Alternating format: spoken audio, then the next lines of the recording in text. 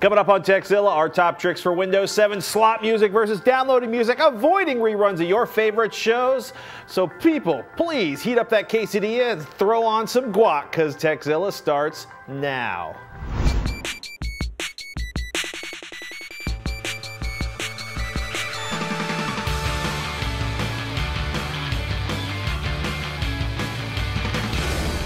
This episode of Tekzilla is made possible by Squarespace, Click It or Ticket, and GoDaddy.com. I'm Patrick Norton. I'm Veronica Belmont.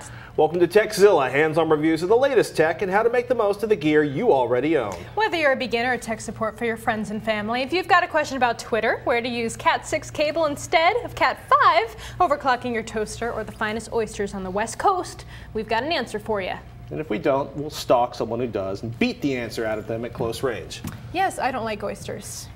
You don't? I don't like, I, I tried to eat an oyster. Wait, no, was it, what are the other ones? Mussels. I tried to eat those too. I know they're different. I know they're different. Don't give me a hard time about the difference between oysters, and, well, and mussels, if they're not done right, and can be a horrendous experience. I just can't get into it. I we were really doing wanted a to like it. Tech show though.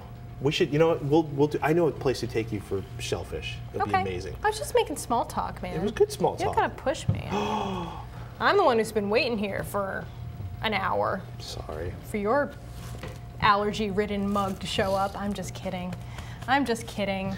Don't be sad. Be happy. Hey, tell me about pelican cases. You love them so much. You talk about them all the time. But I just don't get what the big attraction to them. Oh God! So Pelican case is a reinforced plastic case filled with foam that you custom fit to whatever you put inside of it. Ah. And the really cool thing about it, There wasn't a computer in there, was there? oh yeah, Oh, best part? it wasn't my computer, was it? No. Okay. No, no, no, no. There's things, the thing is, though, that computer will work just fine when we open the case, which is why I love Pelican cases and Otter boxes, which are like Pelican cases. They just tend to be a little smaller. So that was um that was exciting. Well, that got my my heart going a little bit. Will you ever see anvil cases? Like, you know, bands on the road have anvil cases full of gear. Yes. Pelican cases are like anvil cases for people who take cameras and computers and video equipment all around the world. I know that from my wild decade as a roadie for Guns N' Roses. You know, I knew you looked familiar. oh my god! So, end of this month, Yeah. it's like I, I, I, I finally figured out what I'm doing. Like, it involves an airplane flight. CanJam, which is Head-Fi.org's amazing annual gathering for headphone enthusiasts, and the Maker Faire are both on uh, May 30th and 31st. In the same area? Uh, CanJam's down in Los Angeles. I was Oh, gonna go to that's too CanJam, far and I was like, you know what? I figured out. I'm gonna fly down to CanJam Friday night, do CanJam on Friday, fly back Saturday night. Excuse me, do CanJam on Saturday, fly back Saturday night, and then uh, taking my son to Maker Faire. Uh, I always I whole always go to Maker Faire. There, I haven't missed a Maker Faire in San Francisco in years. They're awesome. But Technically, CanJam sounds Mateo. really fun, but that's too far. I can't I can't do all that traveling in one two day period. It's I mean, I, I hour do that crap all the time. All It's that true. day trip traveling, like it just it's too tiring. Too much. If I don't have to do it, I don't want to do it. I will bring back the report from CanJam. All right, Rumor has it new headphones. Going to be some interesting stuff about uh, headphone amplifier designs. Mm-hmm. If you've ever remember the Chu Moy amplifiers, Yeah. those were actually a Head-Fi member with one of the people who did that, or Oh, HeadWize. fantastic. In any case, HeadWize or Head-Fi, now I'm going to get completely slaughtered by email. Don't worry about them. They're not really listening or paying attention, are they? yes, yes, they are. But Well, actually, guys, In any the correct answer is both HeadWize and Head-Fi are awesome forums for people who are into listening with cans headphones. excellent. So May 30th is CanJam, and May 31st is Maker Faire. Actually, both are running on both Oh, days. they're both two day the same two day things. Oh, overlapping on top of each other, All right. like a peanut butter sandwich. Well, before we fire up the first question, let's talk about an annoying aspect of Windows 7 RC1. Um, it expires June 1st, 2010. It's like a free year of use. Yeah, uh, but unfortunately, starting March 1st, 2010, your PC will shut down every two hours. You'll get a notice two weeks before that that says it's time to buy a real copy of Windows 7 or go back to Vista or XP, so you should have plenty of warning. We got a few emails about this one, people being like, it's gonna shut down every two hours, and Gizmodo wrote a whole big thing up about Well, it. it's like Nagware from hell. Oh, that's real bad. To just shut it down. I Well, mean, no, it no. is the OS, so You get two hours and then it shuts it down. Those precious two hours of life. Ah, you so know then what? how long does it stay? Can you turn it up? Do you just have to keep rebooting and then you get to use it for another two hours? or- assume.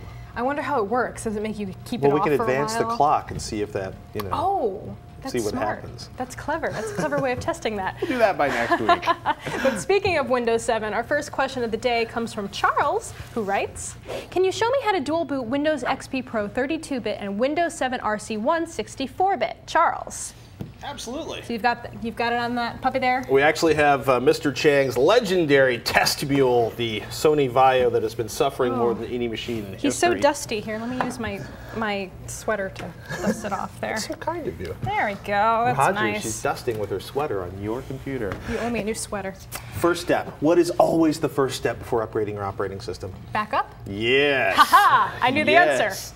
At, at the very least, your most important files, the financial data, your doctoral thesis, your homework, your MP3 collection, yeah. your bookmarks. People forget bookmarks all the time. Passwords if you save them on Mm-hmm. a particular application.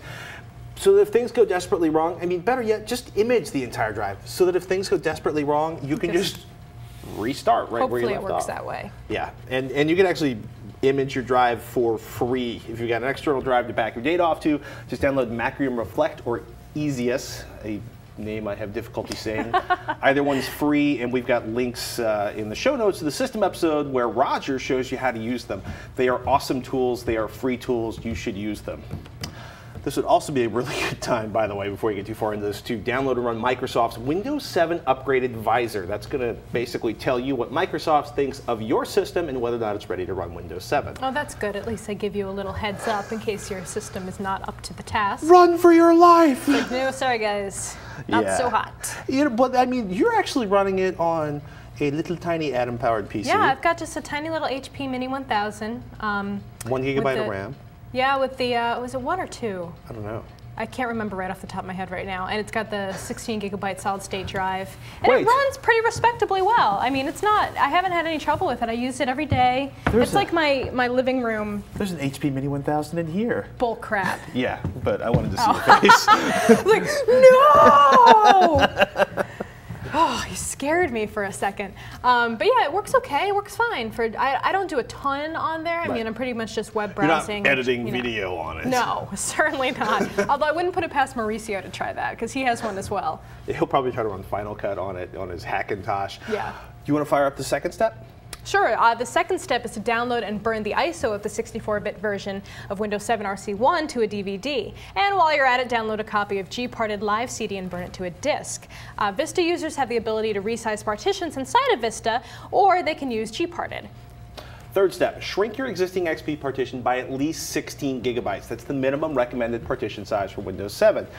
Bigger would be better. Now you're going to create a new NTFS partition in that space and apply your changes. If you want to get fancy, you know, if you're especially in Vista, because the tools are inside of Vista, you, you move everything down with your disk manager so that you know it's the C that. You, if you like playing around with drive letters, go nuts. Fourth step, insert your Windows 7 install DVD and reboot. Like we've got this puppy right here. Ready to go. Yes.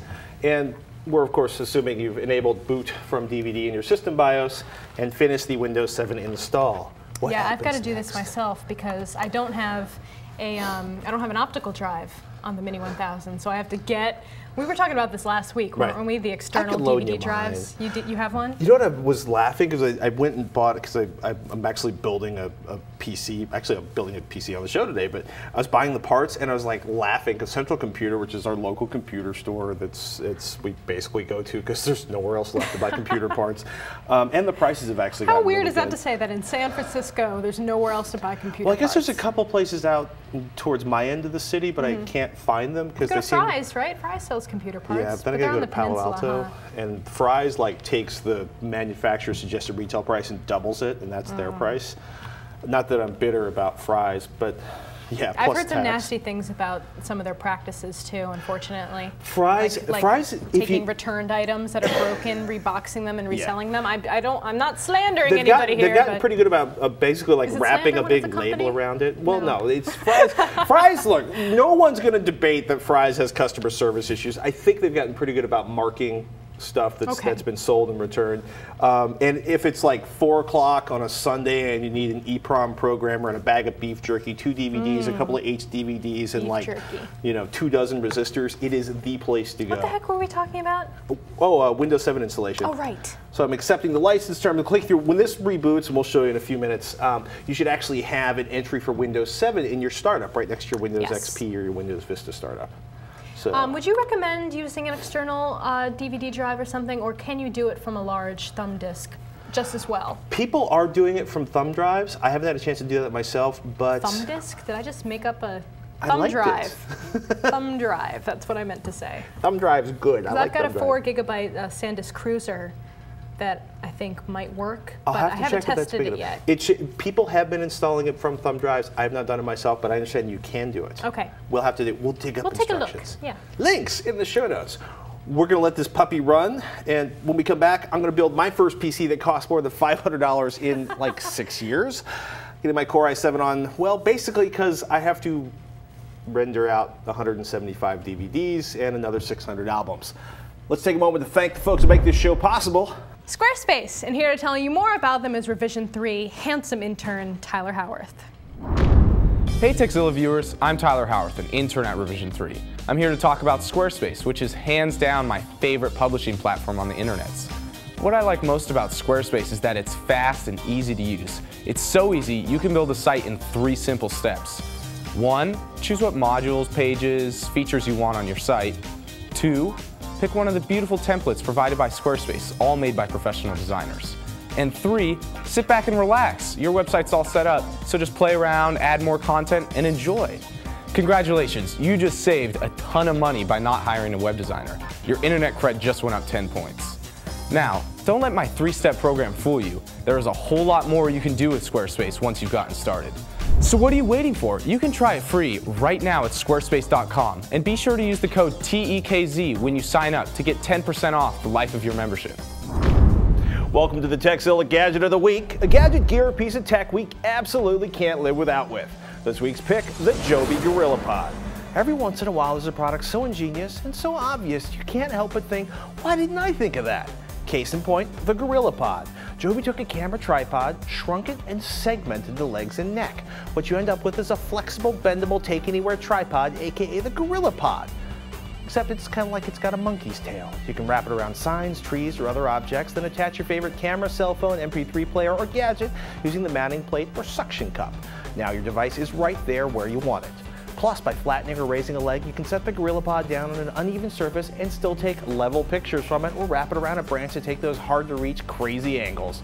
GorillaPods come in several different sizes and colors to accommodate any personality or big honking camera.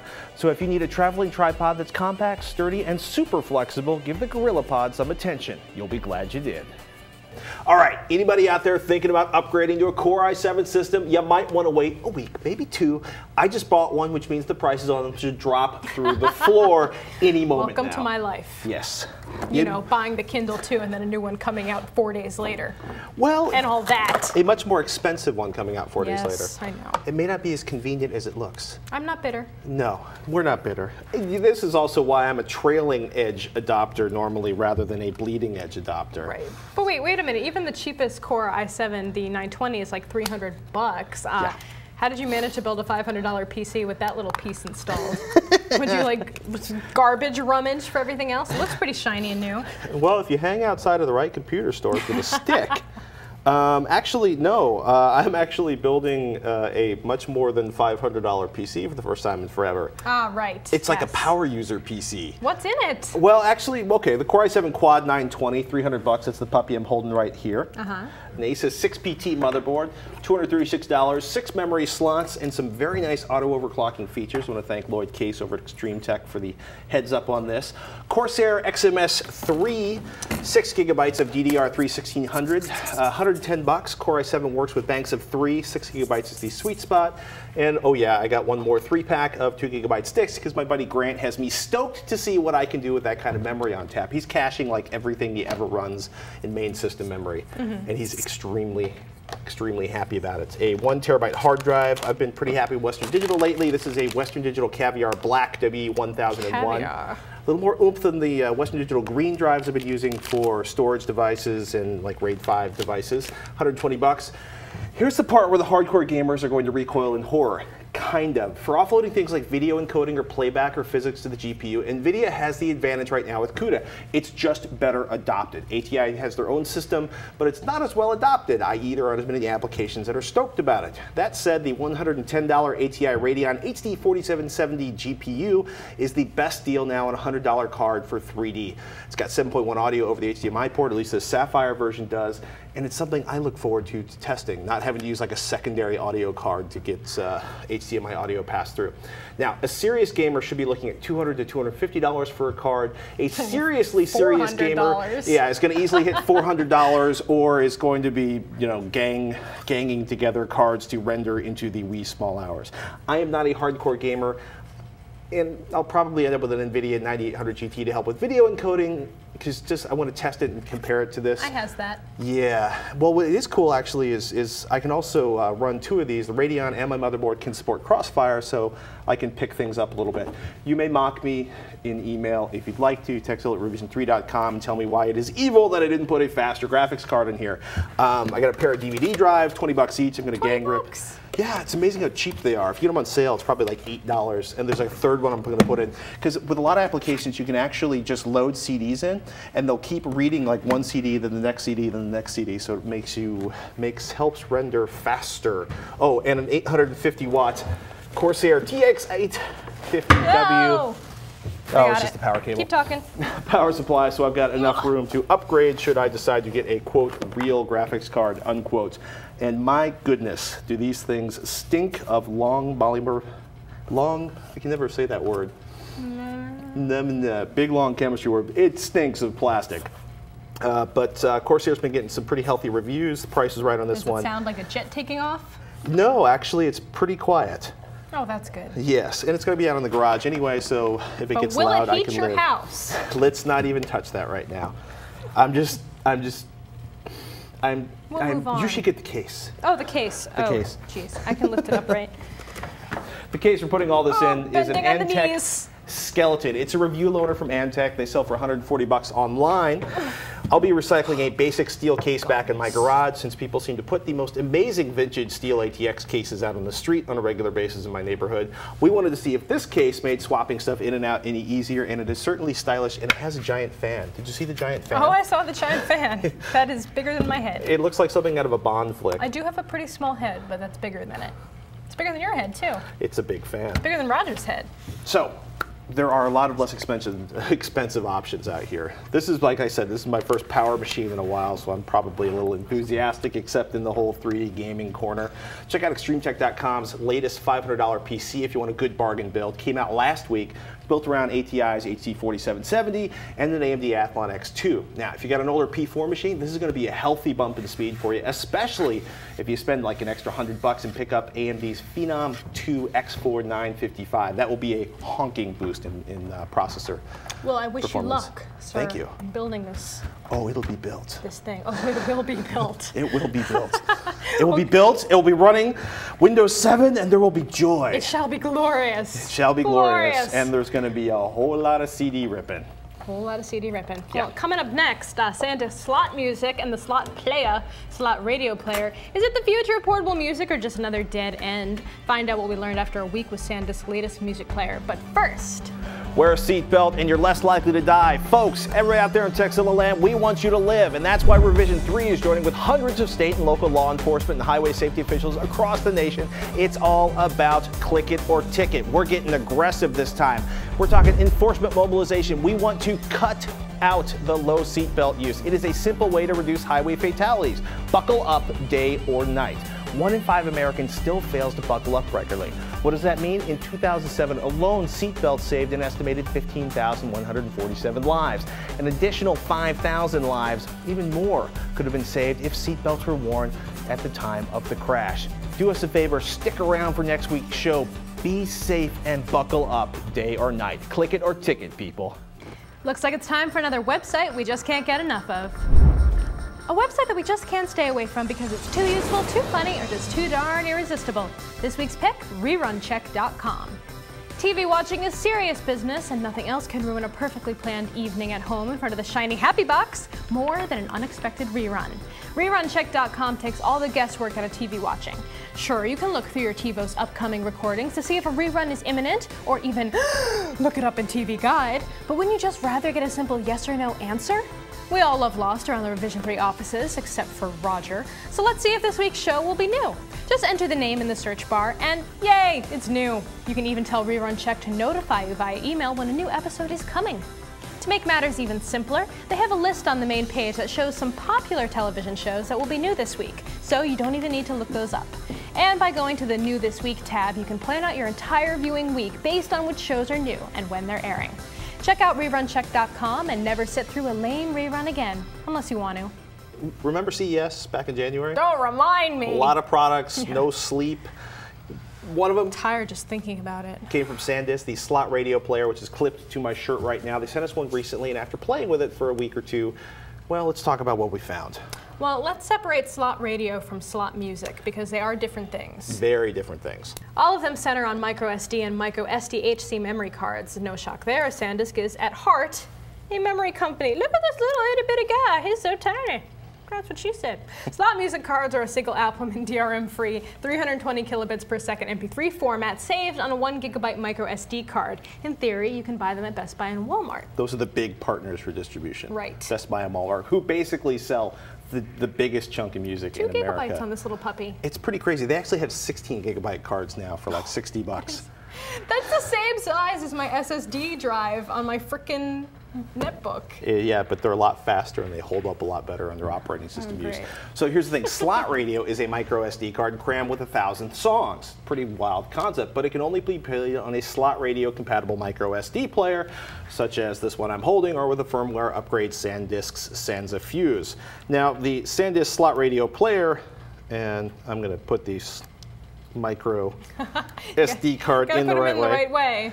Yes, oh. or everything goes wrong. So you put a slot radio card and anything else, and it shows up as blank and full. It leaves you like five or ten megabytes of space to write songs to.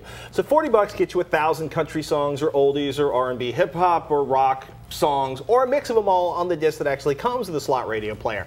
They are compressed like satellite radio compressed. Maybe worse, maybe I'm oversensitive. I can see slot music gaining some ground for people that refuse to buy DRM-free audio files off the internets or rip CDs. Maybe, but slot radio just seems like one of those ideas that's just gonna die. What? Sorry, we're talking about whether or not the, the slot radio player is useless without slot radio discs. So, is it useless? No, actually, it's not because you, basically you can put any micro SD card or micro SDHC card inside of it. Um, I think the lack of a fracking skip back button makes it more useless because it's it's radio, Radio right? doesn't skip back. Exactly, it just keeps playing. We found that kind of frustrating, and I gotta say, I'm a little worried about the proprietary USB cable. Sure, the iPod has a proprietary USB cable, but you can buy them in truck stops, in drug stores, and like off of tables in the street in San Francisco. It's it's funny because it's actually not a bad player with well encoded MP3s or WMA files. It delivered good audio, nice aluminum case, built-in FM radio. Uh, the minimal controls drive me kind of nuts because you can basically move from directory to directory back and forth, and you can pause and skip forward.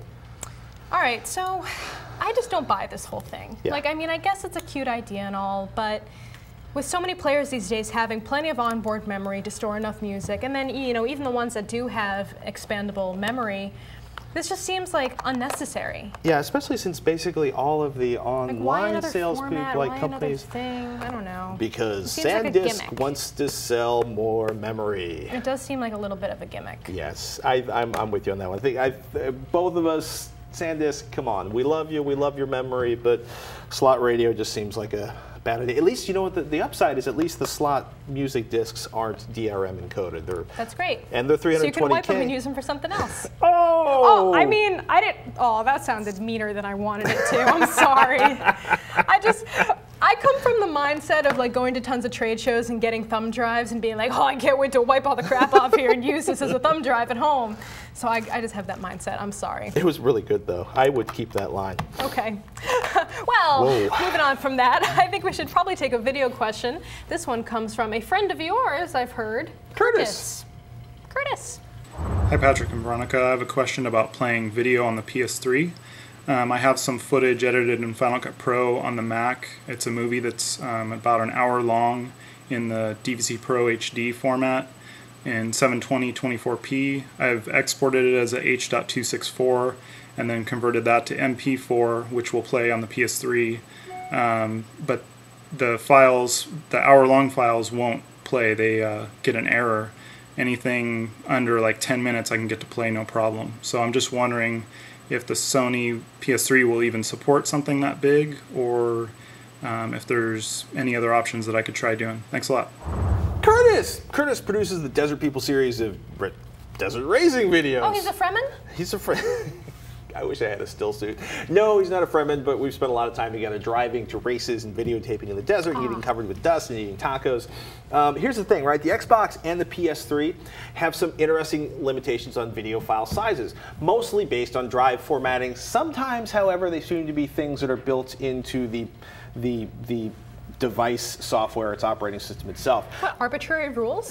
Yeah. I'm, so, I'm so surprised. It's it's and on consoles no less. Oh. Your best shot is to stream the file over your network. Basically, set up a gigabit Ethernet network between your server and there's all sorts of different server software that'll work for this. Basically, stream the file over your network to the console. That should work great and get you around the FAT32 and any other file limitations, uh, whether you're using WMV or DivX or MPEG-4. I would also try just encoding it in WMV or DivX if it's a file smaller than, you know, if it's a relatively small file, try encoding it in WMV or DivX because my understanding is that the, the recent or latest PS3 firmware upgrade has removed caps on file sizes for WMV and DivX, but not for MPEG-4. Hmm.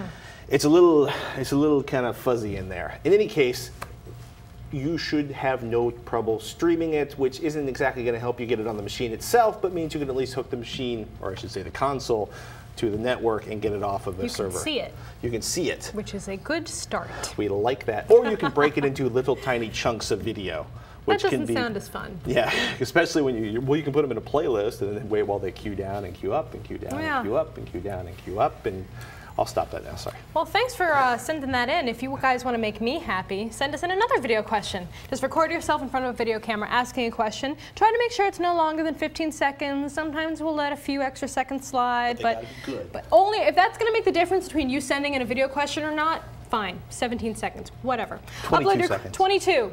That's the top limit. No more than that. My 24. final say. My final say. 15 seconds. I'm sorry. 15 Roger's seconds. zapping me with the, the dog collar thingy. It's okay. Upload that puppy to YouTube and then email us a link to your fabulous video question with video question in the subject line so we can find them.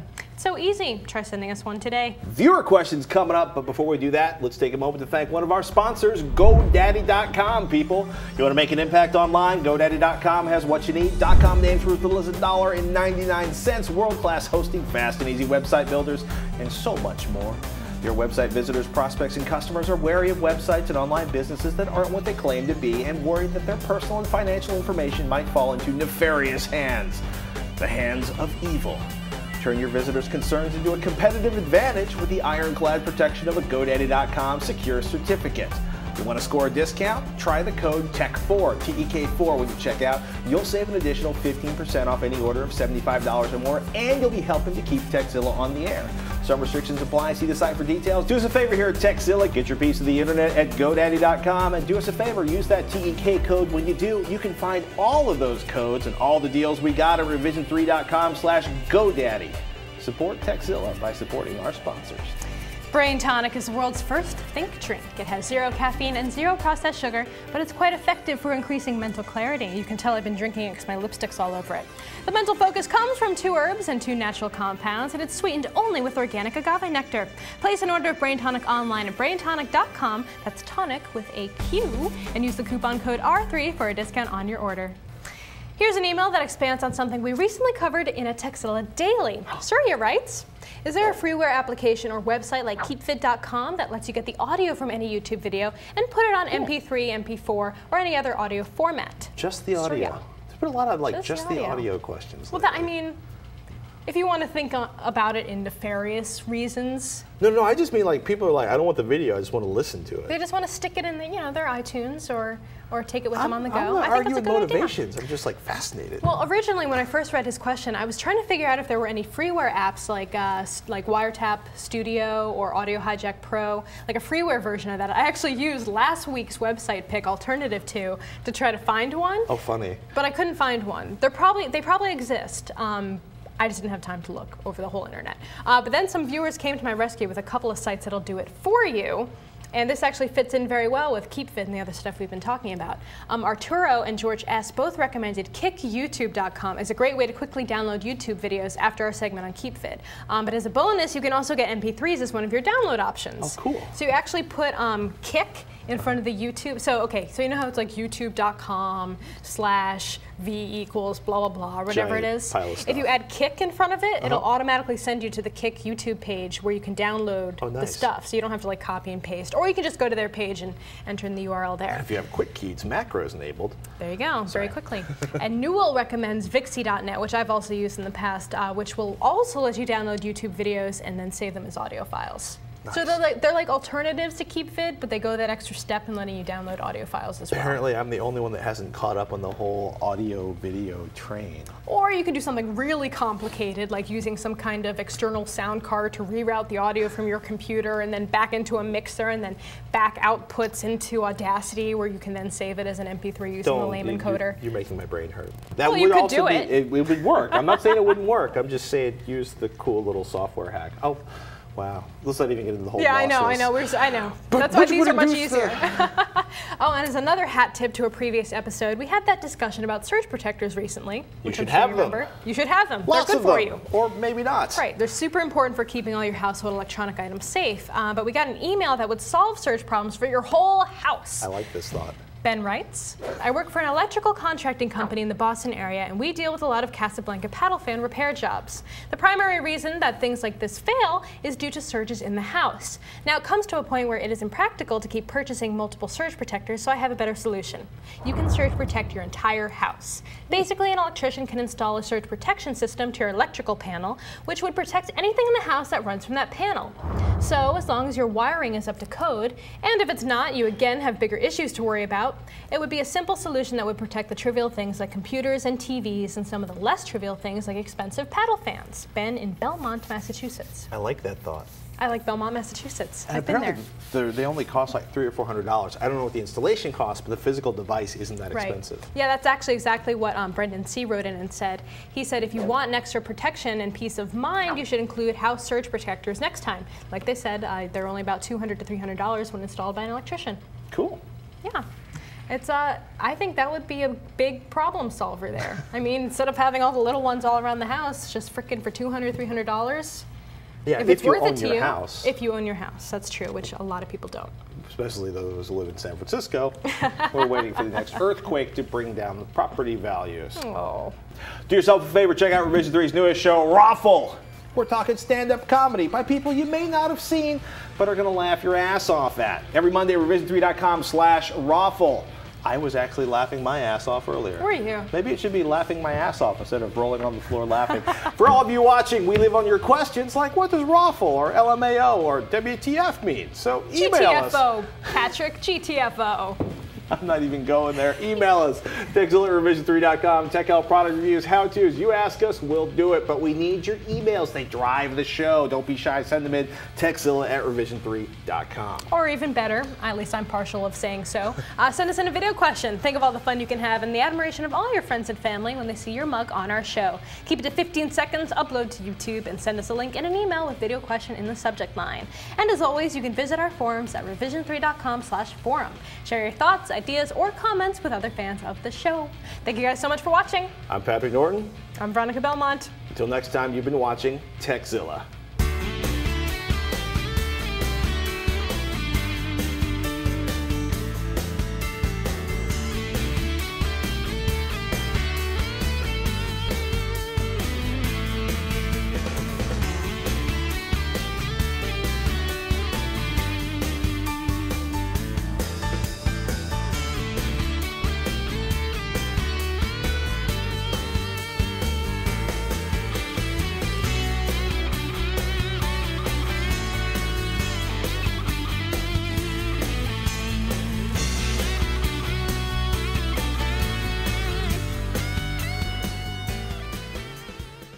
Here to tell you more about them is one of the masterminds behind Revision 3, Tyler Howarth. I just promoted Tyler, like, way up. Little known fact that Tyler is actually one of the founders of Revision 3. He's like a silent partner. For anybody that's thinking,